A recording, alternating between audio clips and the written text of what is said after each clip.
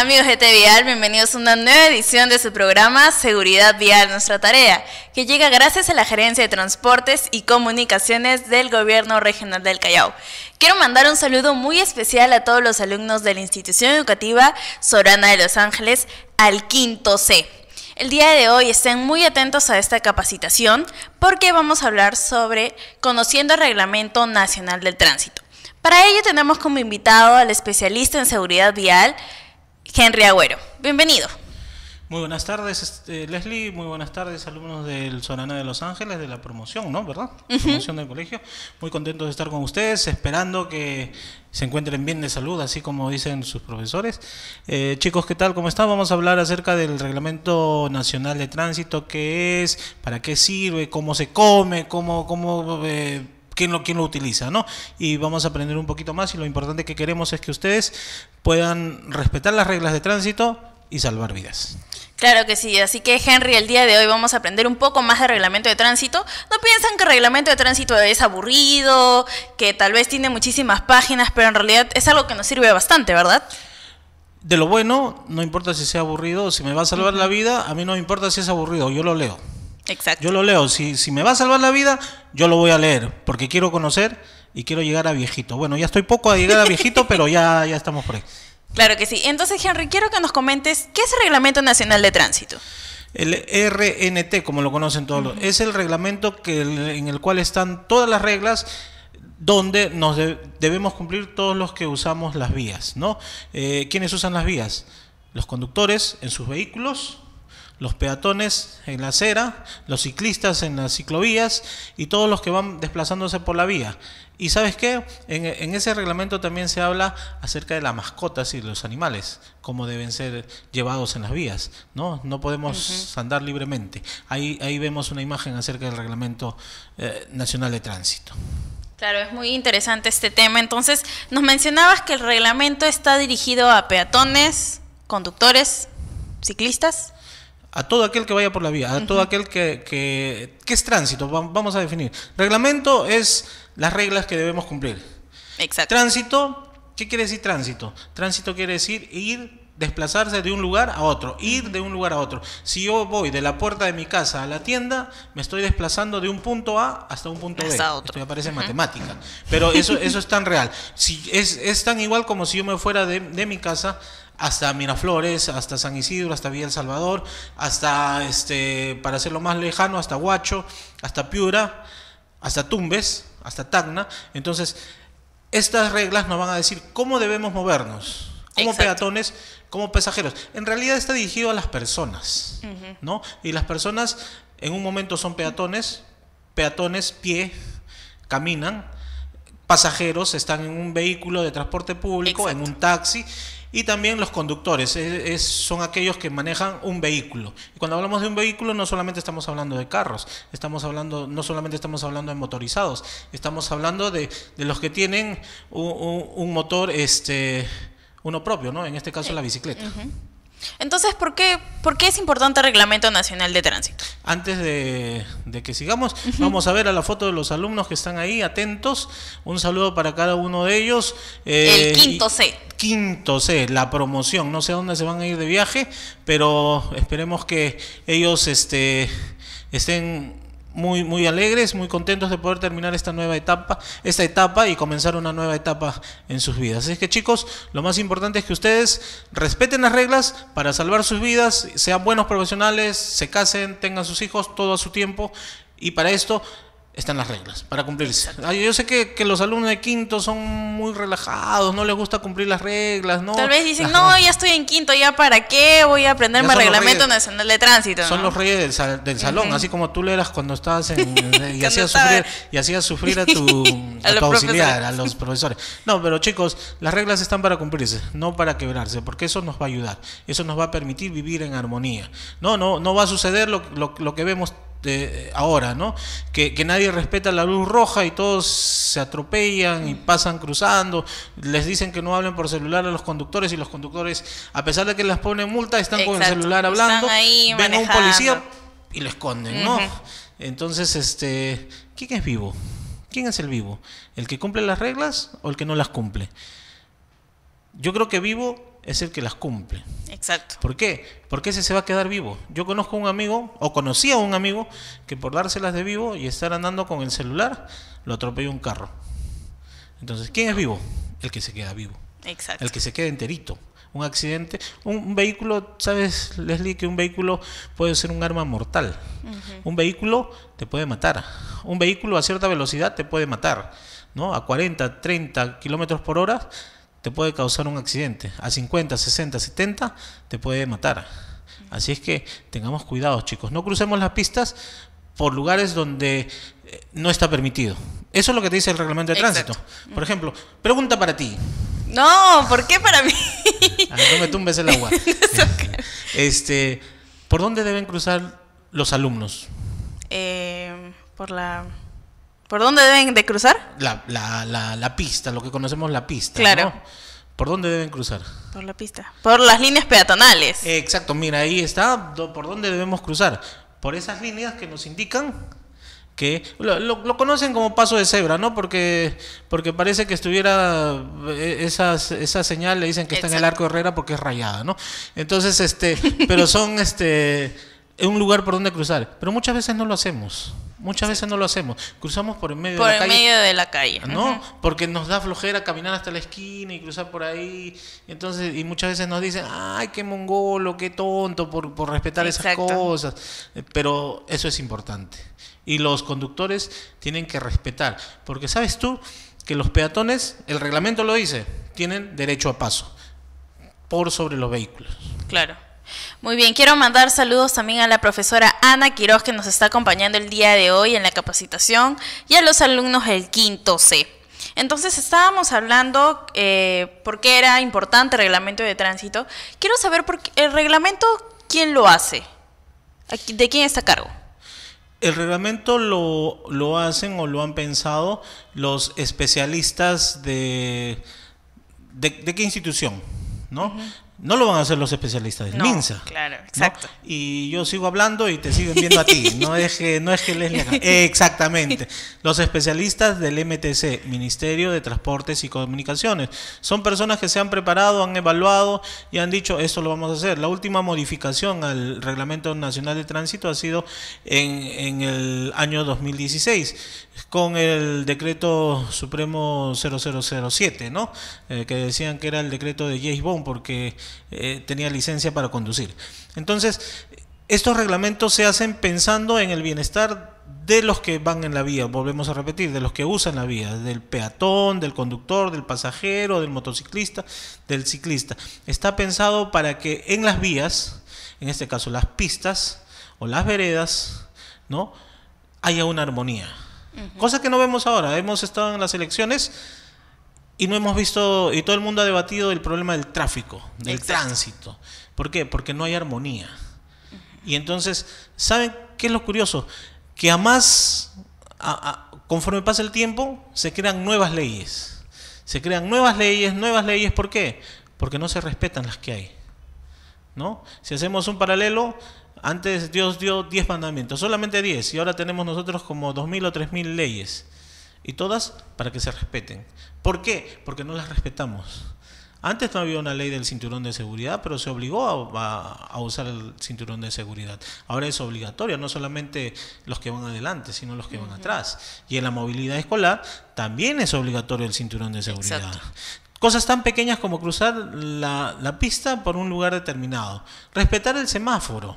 El semáforo que es muy importante, ¿no? Porque muchos dirán, no, pero ya por acá cruzo, el semáforo no importa, ya, ya pasaron 10 segundos y sigo acá aburrido, como lo que pasa aquí en Fawcett con Venezuela, ¿verdad? Exacto, que el semáforo tiene como 5 o 7 Sí. minutos.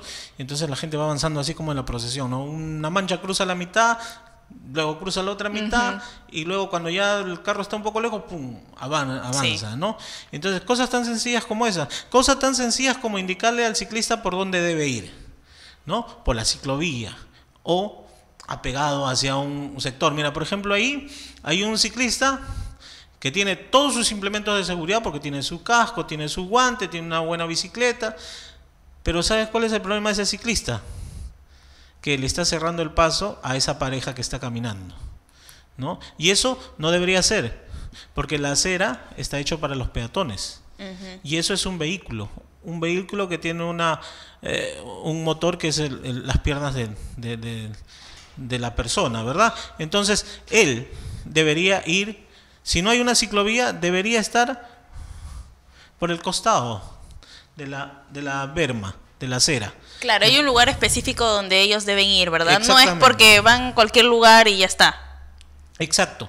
Ellos deberían ir por la ciclovía, pero lamentablemente nuestras ciudades no están eh, diseñadas para eh, este, este tipo de, de, ciclovías o, de movilidad urbana. Una, una par de palabritas nuevas para ustedes. Movilidad urbana. Eso se le llama a los que practican ciclismo. Entonces, eh, ellos deberían ir por esta parte de la calzada no hay muchas ciclovías. Lo podemos ver en Colonial, lo podemos ver hay veces en Universitaria, en algunas calles la ciclovía. Pero cuando no hay ciclovía, ellos deberían ir a la derecha de la, de la pista, como se claro. llama.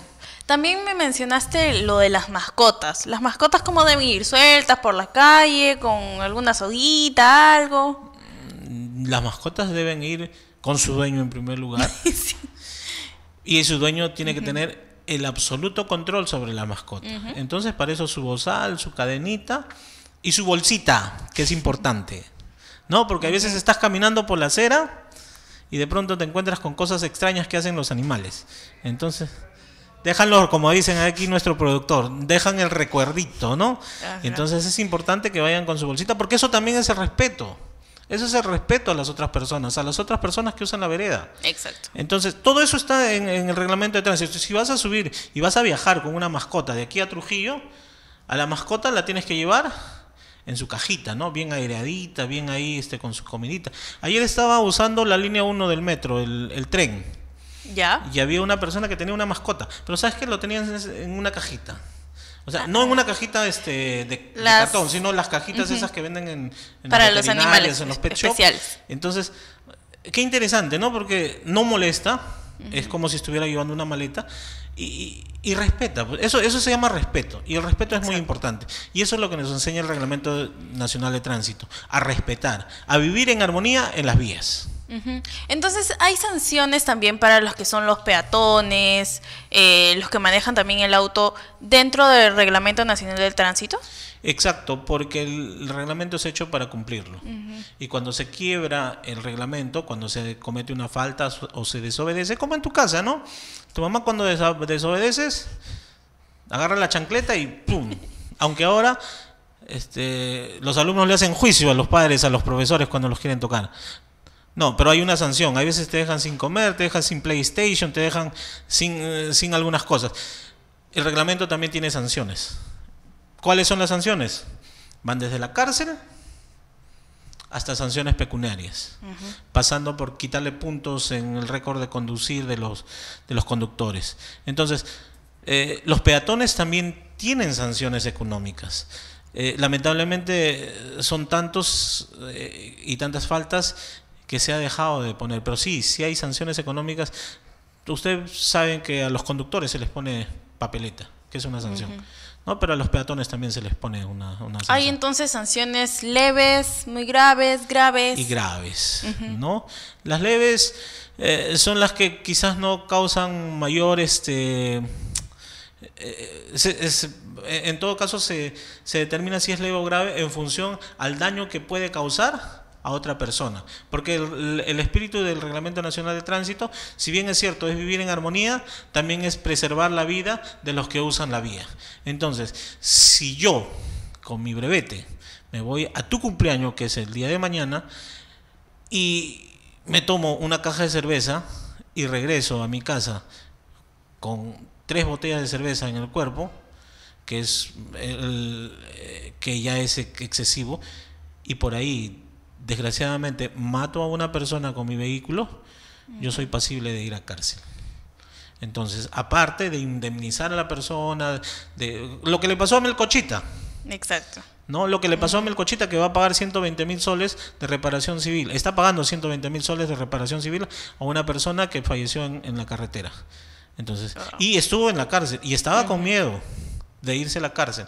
Entonces, eso es, eso es importante. Y hay veces, eh, hay veces le echamos la culpa al conductor, pero hay veces estamos jugando con los Pokémones, porque hasta ahora siguen jugando con los Pokémones y están cruzando la pista sin ver. Y los atropellan. Exacto, están distraídos. Le pueden pagar 120 mil soles a tu, a tu papá, a tu mamá. Pero ¿y la vida? ¿No? Pónganse a pensar que si tu mamá o tu papá cruzan mal la pista, no la vas a tener. ¿No? Por ejemplo, conducir cansado, como la señora esa que está ahí. Conducir cansado, quedarse dormido en el volante, puede causar la muerte de una persona. En cuestión de segundos nomás. Es cuestión de segundos, en cuestión de segundos. Había un locutor, el, el que narraba los, los eh, los partidos de vóley cuando Perú fue subcampeón olímpico, que decía, más vale perder un minuto en, la vida que la vida en un minuto. Así que tomémonos nuestro tiempo. La vida es corta, pero también es larga para disfrutarla. Perfecto. Quiero también mandar saludos a todas las personas que nos están viendo por Facebook, a Isidro Ramos que nos está viendo desde Juliaca. Muchísimas gracias por sintonizar nuestro programa. Chicos, recuerden que estamos en todas las redes sociales, estamos en Facebook, Twitter, Instagram y YouTube como Tevial Oficial. Quiero mandar saludos también a Pedro, a Michelle, a Daniela, Andy, Nicole, Mari, Brenda, David, Giancarlo, Angie y a todos los alumnos del quinto C de la institución educativa Sorana de Los Ángeles. En realidad este tema del Reglamento Nacional de Tránsito es muy importante porque ustedes tienen que aprender muchísimo más de esto y tengan una cultura vial adecuada, ¿verdad Henry? Exactamente. Ah, si nos quedamos un ratito con, con la toma de Leslie, un ratito en la toma de Leslie. Si ven a su lado derecho, hay una señal de tránsito, lado derecho. Ya no, Es que mi lado derecho. Aquí. Ok, señálala para el otro lado. Ahí está. Esa señal es de tránsito y eso también está en el Reglamento Nacional de Tránsito. ¿No? esas señales no se le ocurrieron a... Eh, debe haber una señal cerca del Sorana, por ahí he visto, creo, en Pacasmayo, hay varias de esas señales. Entonces, eso no se le ocurrió a la municipalidad. Eso está determinado por el Reglamento Nacional de Tránsito. Y si ustedes van con su banquito y su centímetro y lo miden, tienen sus medidas oficiales y eso lo van a encontrar en el Reglamento Nacional de Tránsito. ¿Dónde encuentro el Reglamento Nacional de Tránsito? Lo puede obtener en cualquier escuela de manejo, lo puede obtener en el MTC. Y o por internet también. O por internet, exactamente, descargárselo. Y entonces, chicos, ya ustedes deben tener 16, 17 años y quizás el menor tenga 10, 15. Eh, pueden ustedes ya sacar dentro de un par de añitos, un año, los que son mayores, su brevete, su licencia de conducir. Entonces, eh, esa, esas señales, eh, el, el, estudiar el Reglamento Nacional de Tránsito les va a ayudar a obtener una licencia mucho más rápido. Exacto. Entonces ya estamos llegando a la parte final del programa y quisiera, Henry, que les des un consejo de seguridad vial a todos los alumnos que nos, nos han estado viendo para que tomen conciencia, ¿no? Que los accidentes de tránsito pueden ocurrir en cuestión de segundos, que debes utilizar el cinturón de seguridad y conocer muchísimo más del reglamento de tránsito. Ok, estábamos viendo hace un ratito las tablas de sanciones, me parece, ¿no? Que son las sanciones que, que existen eh, para, eh, para uh, tipificadas para eh, sancionar las faltas que se le hacen al Reglamento Nacional de Tránsito. Señores, un consejo hasta de un conejo. Cuiden su vida. El, consejo principal es cuiden su vida. Son jóvenes, tienen un mundo por delante, tienen muchas cosas que disfrutar y experimentar, tienen una carrera que seguir, tienen una familia que formar y ser hombres de bien, hombres y mujeres de bien. ¿Cómo logramos esto? Respetando las reglas, respetando las leyes. Entonces, si tú quieres tu vida, si tú la quieres, si a ti cuando te insultan, te quieres bronquear porque te insultaron, pero cruzas la calle sin tener en consideración al vehículo, no estás respetando tu vida. Tú dices, yo, hago, yo me hago respetar, pero respétate, pues, respeta, respeta a las otras personas y respeta las reglas que se han puesto para cuidar tu vida. Exacto, así que chicos ya saben, hay que respetar también las leyes de tránsito, seguir todas las indicaciones que nos ha dado el especialista en seguridad vial Henry Agüero y conmigo será hasta otra oportunidad. Y conmigo también. Y con Henry también. Chao.